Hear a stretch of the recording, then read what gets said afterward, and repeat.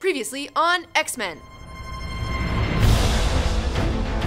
The Phoenix Saga. In 1976, the X Men embark upon an emergency mission in space to rescue their fellow teammates. Their victory is cut short when they discover their ride back to Earth has been damaged, leaving it up to Jean Grey to sacrifice her life in order to save her fellow X Men. She pilots the shuttle through a massive radiation storm whilst the rest of the team must stay in a shielded life pod. As Jean feels her life slipping away, she calls out and her prayer is answered by the Phoenix Force, a cosmic manifestation of all psionic energy, who bonds with her, allowing her to successfully crash land into Jamaica Bay, saving both the X-Men and herself. Now possessed with the powers of a god, Jean rejoins the X-Men. Together, they become involved in an alien empire civil war when a rebel space princess comes to Earth seeking Charles Xavier's help against her mad brother, the Emperor D'Ken, who plans to weaponize the awesome power of the M'Kraan crystal. The X-Men battle the Imperial Guard and stop D'Ken only to find their efforts in vain with the entire universe in danger of blinking out of existence. It is here that Jean finally understands the true extent of her power as Phoenix as she dives into the heart of the crystal and repairs its energy matrix, restoring the balance and saving the universe.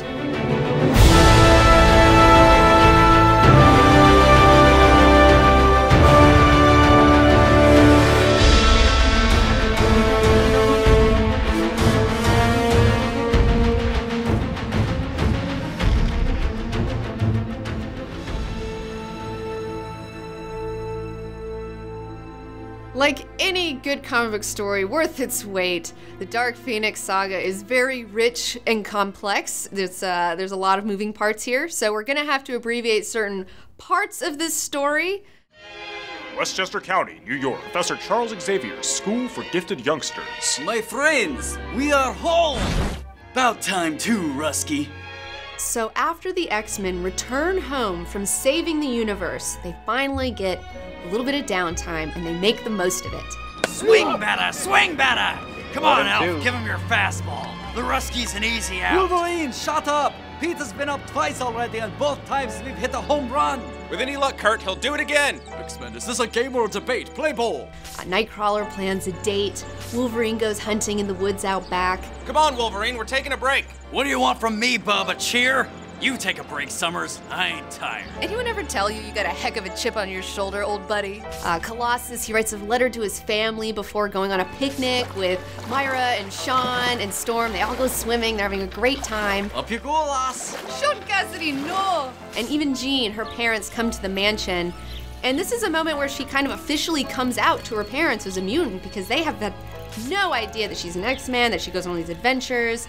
And they currently, they saw her with her powers uh, when Fire Lord busted in the apartment. So like now she's kind of has to be like, hey, this is the deal. They look scared stiff, Jean, though they're hiding it well. Uh, and everybody's really worried about Jean. You know, I mean, her parents are worried, Scott's worried, and even Jean herself is worried because she feels like her power as Phoenix is just so overwhelming to the point where she asks Xavier if she can rejoin the team. Because if you remember, for a while there, she left the team to just be a normal person. But now, having all this crazy cosmic power, she's like, I gotta hang out with the X Men now because I am not a normal person, and I need people here that can help me if things go wrong.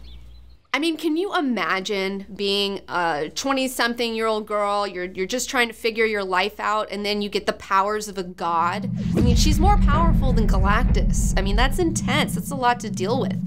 And a lot of people have taken notice of this. Even some unsavory characters have been like, oh shit, look at her. She's got some power.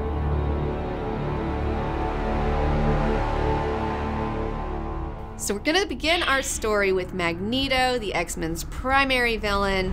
Uh, he defeated the new team of X-Men back in 1977, but they retreated, so he never got to finish them off. So he's been plotting his revenge ever since. Uh, and he finally comes forward and he beats up the X-Men, captures them, and takes them to his secret base located inside a volcano in Antarctica. Where Magneto walks, he walks alone. Animal!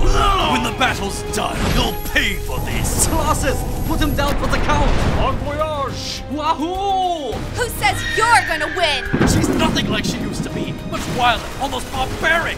Now, during their escape, uh, the Phoenix lets off a blast that's so powerful that it causes the volcano to collapse in on itself. and you have Magneto escaping in his little magnetic bubble deal, and then you have Jean and Beast who make it to the surface, and the rest of the X Men are trapped inside. And unbeknownst to Jean and Beast, uh, the other X Men claw and punch and blast their way through a rock wall and into the Savage Land. X-Men, welcome to the Savage Land. What is the Savage Land? What's that? The Savage Land is a perfectly preserved prehistoric jungle, complete with dinosaurs, prehistoric mammals, pterodactyls, and bizarre tribal peoples that have survived since prehistoric times thanks to aliens who created a kind of wildlife preserve millions of years ago. However, they abandoned it at some unknown time in the past, but the machinery left operating preserves it still to this very day. Ka-Zar warned me about these giant pterosaurs, but I never dreamed they'd be so big. Holy Mother of God! After the volcano collapse, Jean and Beast are stuck in the middle of the frozen ass Antarctic, and luckily a helicopter sees Jean's Firebird and it comes to rescue them. So now Beast and Phoenix return home, and Jean has to tell Xavier that the other X Men have died, which leaves Professor X just completely heartbroken. All things die, Charles, and not always at the time and manner of our choosing. I know, but I keep thinking if I'd never formed the X Men, if I'd only let them live out their lives in peace. So much so that he gives up on his entire dream and he leaves Earth to go live on the Shi'ar throne world Chandilar with Lilandra, leaving Beast to go back to his experiments and Jean all alone. So she decides to go live with Moira, Lorna, and Alex on Muir Island. My taxi's waiting. I'd better get a move on. Are you sure you will not stay, Jean? I can't, Lilandra. There are too many memories in this house. Jean Grey suddenly finds herself shivering, and she realizes with a start that for the first time since joining the X Men, she's on her own. And that scares the hell out of her. Back in the Savage Land, Cyclops, Wolverine, Storm, Nightcrawler, Colossus, and Banshee spend a lot of time trapped there. Uh, they help out the locals, they get involved in Savage Land politics, they have some adventures featuring Ka-Zar and Sauron before finally finding a way out. How does one find a way out of the Savage Land? Well, they build a raft, and when they're in the ocean paddling towards Argentina, I don't know, they end up getting picked up by a barge that takes them all the way to Japan, where they meet up with their old friend Sunfire. And fun fact this is where Wolverine first meets Mariko Yashida, a major love interest, because he thinks Jean's dead, so he's open to other women right now. I'm sorry I scared you. I'll go. Oh no, please stay. The foot is mine. You speak Japanese very well for an American. Anyways, so then they end up flying to Canada and they fight with Alpha Flight over Wolverine before finally returning back after a year and a half. They get back to the mansion only to find it completely empty. Nobody's home.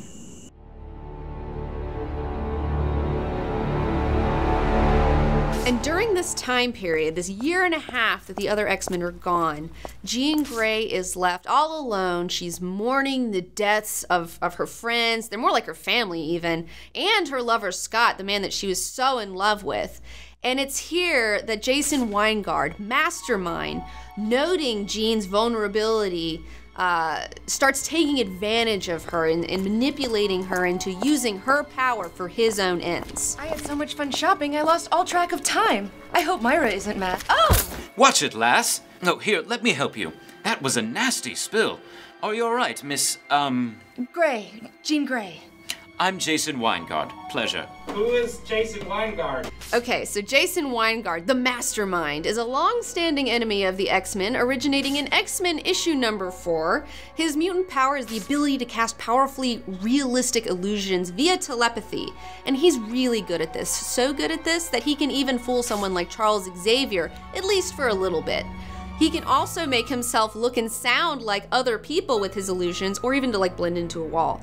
But uh, he totally does this all the time too, because in reality, he's this like super busted, like greasy old man. So he's always making people see him as this like young, handsome guy with chops, you know, because he's like super vain. Oh, so he's like an evil, ugly pickup artist. Yes, but Jason is also kind of a failed villain. He was an off again, on again member of the Brotherhood of Evil Mutants, but that wasn't working out so well for him. So uh, he essentially decides to try out for a position in the inner circle of the Hellfire Club. What's the Hellfire Club? So the Hellfire Club is kind of a big deal. It's like this um, really old secret society of one percenter types, and it's this kind of kinky uh, networking sex club situation, kind of like Eyes Wide Shut. And within this uh, secret society, there's a another secret society called the Inner Circle of the Hellfire Club. And these people vie for personal power through any means necessary. Okay, they're very Machiavellian. How is your plan progressing, by the way? Do you think you have a chance of success? Not think, Shaw. I know. The young lady hasn't realized it yet, but she's mine, body and soul. And Jason Wyngarde's ultimate goal is to be admitted into this inner circle. And in order to have a chance at it, he kind of has to perform some impressive feat that brings new power into the fold. So, after hearing about Jean's new badass cosmic powers, he thinks to himself, hey, maybe I should manipulate Jean into forgetting herself and becoming a villain and have her be the Black Queen of the Hellfire Club. Though you've met me as Jason Wyngarde only once, you instinctively trust me. Soon that trust will turn to love. From the day you first met the X Men, to your original Marvel Girl garb, to the older, wiser Marvel Girl, to Phoenix, and finally to the Black Queen. So shall I mold you, Jean Grey, until the day the Hellfire Club claims you for its own. Because, you know, having a Phoenix on your team means winning.